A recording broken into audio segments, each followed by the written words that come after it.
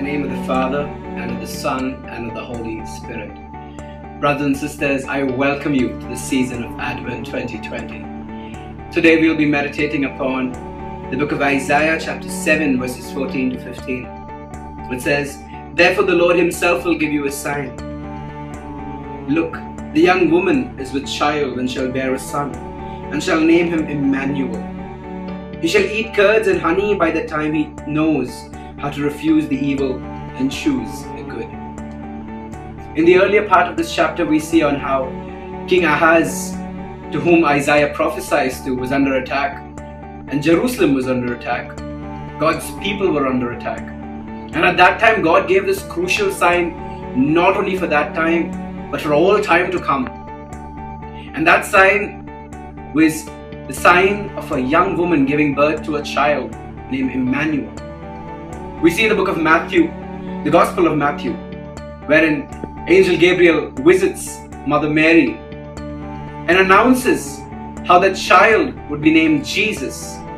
He would be named Emmanuel, which means God is with us. It is such an amazing thing that God loved us so much that He chose human form to come and be with us. It is a thing of privilege to call on God whenever we are in trouble, whenever we feel we are lost.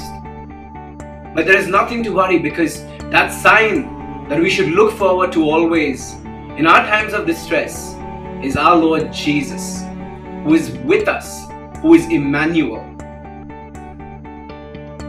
It's amazing how in verse 15 it says, He shall eat curds and honey by the time he knows how to refuse the evil and choose the good.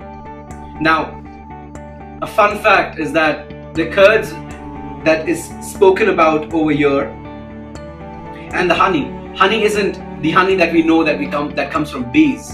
In Israel and the Middle Eastern part, honey is actually molasses from pomegranate. It's a fun fact. And uh, usually it's had when there is abundance. It's a sign of abundance in the land. So when Jesus comes into our households, when he comes into our homes and he comes to stay with us, he brings along with him abundance of life. We see also this prophecy being fulfilled, this thing of eating curds and honey and knowing evil and good. In the Gospel of Luke, wherein after Jesus came back from the temple, it says he grew in the spirit, in stature, and in wisdom, and he knew what is good and evil.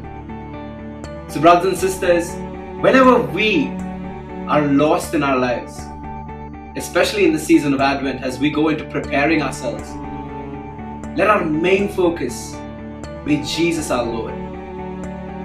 Let us, with our penances, with our small fastings, our abstinence, always have our focus on Lord Jesus, who's always with us in our hearts. God bless you.